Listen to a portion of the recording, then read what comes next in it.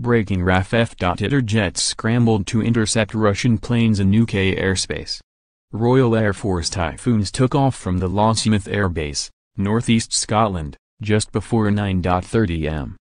A spokesman said, We can confirm that Quick Reaction Alert Typhoon aircraft from RAF Lossiemouth scrambled this morning. This is a live operation and therefore we will not be providing any additional information until the mission is complete. The operation is currently ongoing and the type of Russian plane has not yet been confirmed. It comes after a series of provocations by Vladimir Putin's Russia against the West.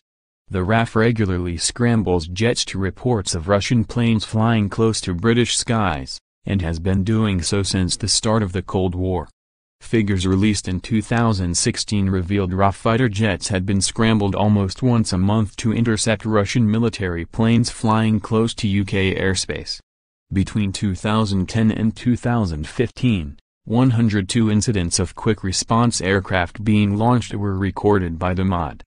The data showed around half, 52, of these were in response to Vladimir Putin's Air Force flying near British territory. Despite a number of close calls, no Russian plane has ever strayed into UK sovereign airspace.